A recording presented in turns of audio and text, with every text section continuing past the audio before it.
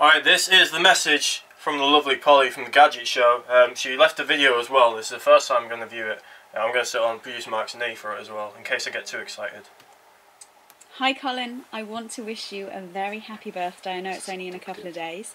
Matt has told me you're a fan of the Gadget Show and you would have thought it being your birthday might let you win the competition. But no, it's not going to happen. Oh, she's such a However, I do hope your mum makes up for it by getting you a half decent birthday present this year. Though I know what mums are like, and I'm probably guessing that's not going to happen either. But do remember, if Barry challenges you to FIFA, learn to say no, because you always lose. It's wrong. I've I won the last few times. Well, have a very happy birthday, Colin. Um, it means a lot to me doing this message. As you can tell, I was desperate to get it done. I'm at home. It's two o'clock in the morning. Your home but looks I lovely. needed to get Dead. this birthday message to you. So have a great day. Hope Matt spoils you in some way, shape, or form. Um, hopefully there won't be a video of that, however. Probably but will. happy birthday. Have a great day. See ya.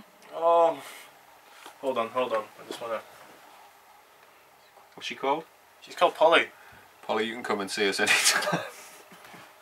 She's lovely, and look, look, her flat is also lovely. Right, Nice that's a really dado nice rail. picture. Yeah, the dado rail is just, just Very good. it's nice. Yeah, Let's be honest, great face. great face, great face. Um, I, I love Polly. There's, there's nothing more to say other than that. Thank you very much. for The video.